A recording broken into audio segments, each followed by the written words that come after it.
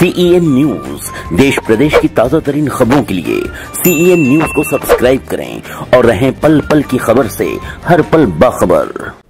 नमस्कार, मैं हूँ राज पांडे, आप देख रहे हैं सीएन न्यूज़ आइए देखते हैं आज की खास जालौन के कोचनगर के अशोक शुक्ला महिला महाविद्यालय में विधिक साक्षरता एवं जागरूकता शिविर का आयोजन किया गया। इसी दौरान कार्यक्रम में पहुँचे तहसीलदार कोच राजेश विश्वकर्मा ने सभी छात्राओं को कानून से संबंधित तमाम जानकारियाँ दी आपको बता दें कि तहसीलदार राजेश विश्वकर्मा ने भ्रूण हत्या और कई ऐसे अपराध हैं जो महिलाओं पर हो रहे हैं। उनको बारीकी से बताया तथा तमाम अपराधों से जुड़ी बातें बताई और सभी छात्रों को गहनता से कानून की जानकारियाँ दी।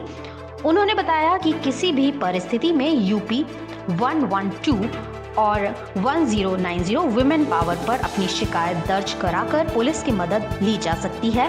साथ ही छात्राओं ने तहसीलदार कोच राजेश विश्वकर्मा से भी जमकर सवाल पूछे, जिस पर तहसीलदार ने उन्हीं सवालों के जवाब को भी बारीकी से दिया।